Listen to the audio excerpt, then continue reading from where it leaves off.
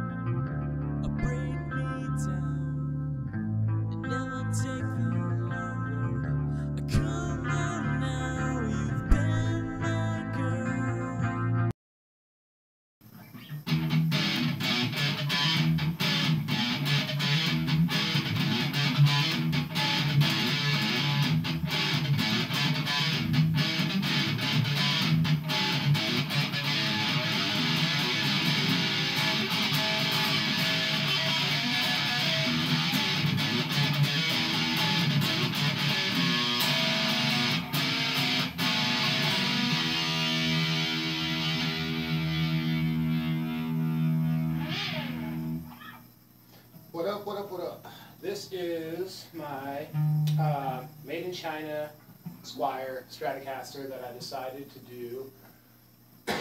One of those typical relic jobs that you see where it's half okay, half not okay, things that you wouldn't do, things that you would like to do. I, I pretty much covered the bases on that. I switched out the uh,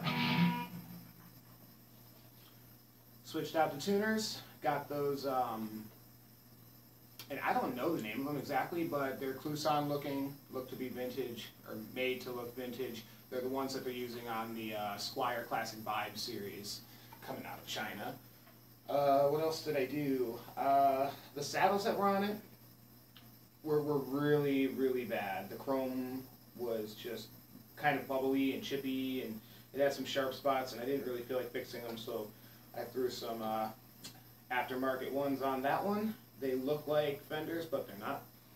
Also, whatever the little uh, adjuster screws are called, uh, they're really long. They need to be cut off. So, kind of stab my hand when I'm playing.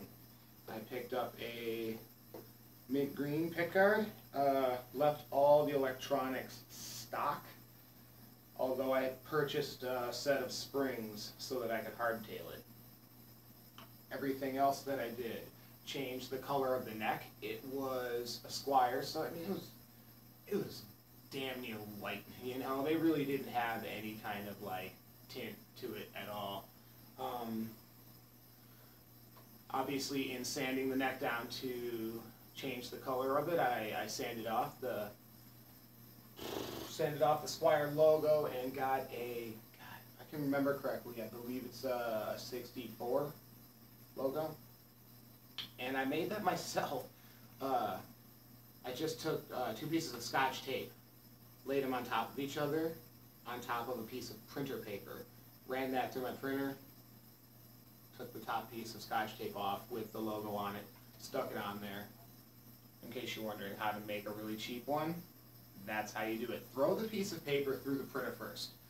Wherever that logo comes out, lay the tape over the top of that, lay the next piece of tape over the top of that, because the first tape obviously is stuck to the paper. The second piece of tape, that'll come off, and there's your freaking logo, and it worked great. Beat the hell out of the body, shredded it. The body was originally black, and you can actually see a little bit of the black still in the arms where I made some dents because I didn't sand in there because I didn't think I was ever going to see that little bit of black again. Gave it sort of um, a faded seafoam green, and that's it. And it's been sitting forever because I didn't have any solder, and I finally have some, so.